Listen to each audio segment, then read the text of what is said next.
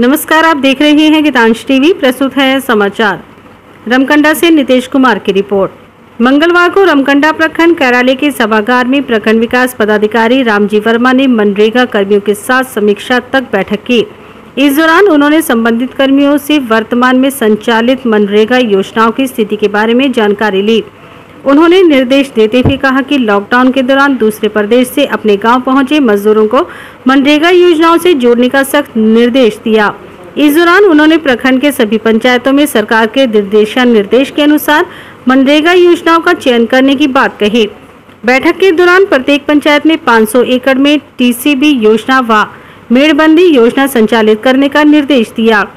इसके साथ ही प्रत्येक पंचायत के एक ही राजस्व ग्राम में पाँच एकड़ रहती ज़मीन में आम बागवानी योजना का चयन करने की बात कही।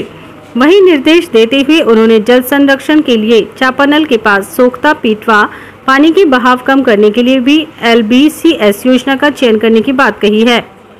बैठक में प्रखंड के हरहे व चेटे पंचायत में खेल मैदान का निर्माण कराने का निर्देश दिया। इसके साथ ही अपने घर पहुँचे प्रवासी मजदूरों को मनरेगा योजनाओं में काम दिए को लेकर रोज़गार सेवक को सख्त निर्देश दिया। कहा कि लापरवाही बरतने वाले संबंधित कर्मियों पर सीधे कार्रवाई की जाएगी।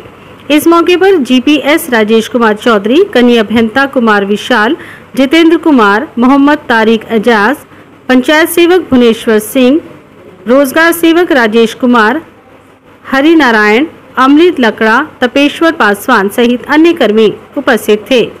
धन्यवाद।